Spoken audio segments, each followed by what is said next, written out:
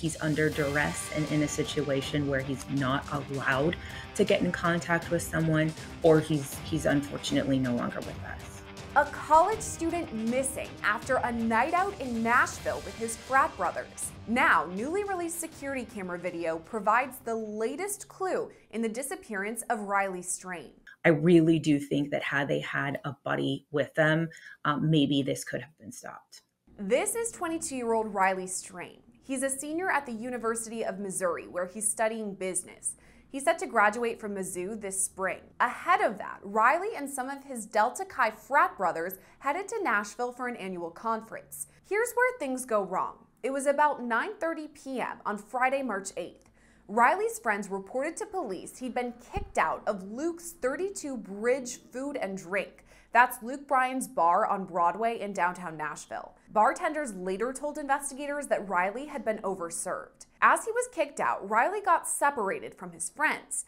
He did speak on the phone with one friend, though, saying he was headed back to the hotel. He hasn't been heard from since. To understand the investigation so far, we sat down with former CIA officer and FBI agent Tracy Walder. How does a missing persons investigation begin? I know that the first hours are really crucial. Well, so it sounds like with him, it, it was reported missing pretty quickly um, within the span of just a few hours when his friends uh, couldn't get a hold of him. Typically, in the case of an adult, um, there is a lot of time, about 24 hours, that needs to pass before they will go ahead and label that person a missing persons. But because the situation was such where he was basically asked to leave the bar and then disappeared, they were actually able, in my opinion, to get a jump on the case pretty quickly. Um, I think the first thing that they would have done, obviously, after initiating the call to police, um, was look at cameras. I think cameras would be a huge help in a case like this because it's immediate and you can go to those stores and go to those storefronts and ask them for their cameras. This is kind of a, a dense area, this Broadway area. And I am 100% sure that all of the stores have some kind of functional camera. So that would be the first place that I think they looked at. I also think too, it's going to take a while for them to get the actual meat of cell phone data, meaning, you know, what was in text messages and those kinds of things. But they probably tried to locate his phone through some of the apps that he used, which would be something that they can do rather quickly. According to reports, Riley's friends tried to track his location via Snapchat, but were unable to find him. Investigators say Riley's phone pinged for the last time at about 10:15 p.m. on the opposite side of Nashville from his hotel. Where does the investigation go from here now that we can't track him on his phone? So I think the first thing that they're probably going to have to do, and it's my understanding too that that they've started with helicopters um, as well. Uh, I could be wrong on that, but that's what I had read. Um, and so I think that is is one thing that they're going to do: try to cover a larger amount of area in my opinion, it sounds to me like there's a 25 minute, I guess, gap from when he was asked to leave the bar to when sort of that last ping was on his cell phone. In my opinion, I don't think he got very far as, a result of that. I think he probably got lost. And so I think the next thing they're going to do is start searching the river um, because the river is close by. And so I would imagine they're going to have uh, radar and sonar in the river shortly. So far, the Metro Nashville Police Department says both air and land searches have been unsuccessful in finding Riley. They also checked all hospitals and jails nearby and have come up empty handed. Investigators are now combing through security camera video to make note of Riley's last movements before he vanished. The video released this week shows Riley walking alone down the street.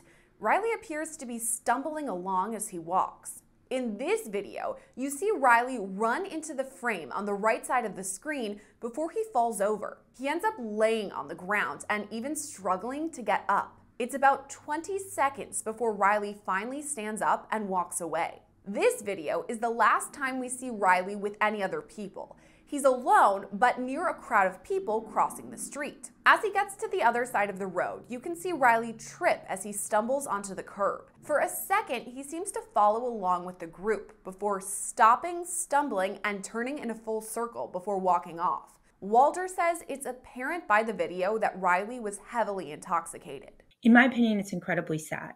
Um, you know, he was it sounds to me like he was probably asked to leave the bar because he was quite intoxicated and most likely creating, I guess, a scene, um, if you will, there. According to local Tennessee outlets, two homeless people reported seeing Riley late Friday night, but these reports haven't been confirmed by police. The last place anyone for sure saw Riley in person was at Luke Bryan's bar.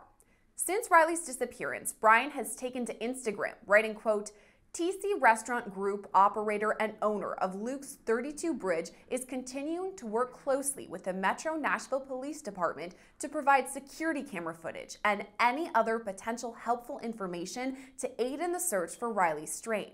Our thoughts are with his family and loved ones for his safe return. Walder says it's unclear whether foul play is involved or if Riley simply made a wrong turn and got lost. I'm obviously just hypothesizing um, at this point. I personally think uh, because there is a body of water nearby and because this is a city that he's not necessarily from, he goes to Mizzou, right? This is a place they go once a year. It sounds like for basically a fraternity fraternity formal or, or something like that. So it's a place he's not familiar with um, that well, and so I personally think um, that he got lost or uh, passed out and suffered, you know, death from alcohol intoxication. That's that's just my guess. Uh, but again, I, I'm I'm completely hypothesizing here. Because Riley and his friends came from Missouri, Walder says Nashville officials will work with Mizzou as part of the investigation. They're probably questioning all of his friends. I mean, they have to in a case like this because, as you mentioned before, they're trying to determine if this was foul play, an accident, you know, something of that nature. So his friends will go back to college, but they will be questioned, obviously, with the help of counselors. It sounds like the university has issued a statement that they're being, you know, incredibly cooperative. They want to find him too. Um, so it's it's not that unusual. I was in a sorority in college, and we actually had formals out of state. It, it, it was just something we did, whether it's safe or not. Obviously, we can debate that, but um, this is just something. It sounds like they did every year. This wasn't his first time going there. Um, and so I would imagine they are working uh, with the university, which in my opinion is a good thing in this case because it isn't just, I guess, a kind of this unorganized trip. It's an organized trip. The fraternity is working with them and the university is working with them. And I, I actually think that's a good thing. As far as the investigation into finding where Riley is now, I know that the Metro Nashville Police Department is seemingly leading the investigation. They're the one putting out videos, things like that. Is it possible that the FBI could get involved or any other organizations? They could. The Nashville PD is a is a very large, very capable uh, police department. has a lot of resources at their disposal, so they will always lead the case. Um, um, my guess is maybe they will bring in the FBI just because it's multi jurisdictional, right? You have uh, students who are in Missouri, and then you have students who are obviously perhaps still in Nashville. I don't know. Also, I think in terms of processing phone data, because there is an urgency, they want to try to find him alive. Um, maybe they will bring in the FBI to sort of expedite that, if you will. Um, but other than that, I don't see the FBI taking point on this case, if that makes any sense. While there's still a chance that Riley is found safe, Walder says that possibility is slim. And now we're pushing almost a week since he was last seen. Is it possible that he's still alive and is safe somewhere? I always want to be uh, delicate, you know, to the families because I don't know how I would feel. But it's been a week. Um, this is a 22 year old, obviously capable male who would find a way, in my opinion, to get in contact with his family or his friends. So I either think one, you know, he's under duress and in a situation where he's not allowed to get in contact with someone or he's he's unfortunately no longer with us. According to Walder, things could have been handled differently after Riley got separated from his friends. I don't mean to blame his friends and the and the reason I'm bringing this up is because I have a a friend who gosh I had known since she was 5 um, and she was actually murdered. She was the victim of a serial killer when she was a freshman in college. And she was asked to leave a bar because she was too intoxicated. And her sorority sisters didn't accompany her home. And as a result, she was kidnapped and killed um, by a serial killer. And I think that you need to stay with a friend. A friend needs to go with you, especially when you are that intoxicated. And I'm not saying that he was murdered by someone else. He could have fallen into the river and drowned in, in the state that he was in.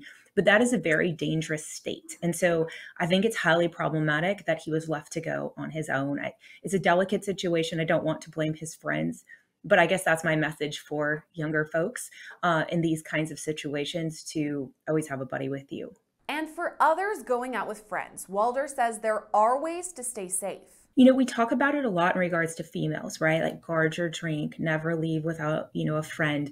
But I think the same applies to males as well, especially when they're in intoxicated states.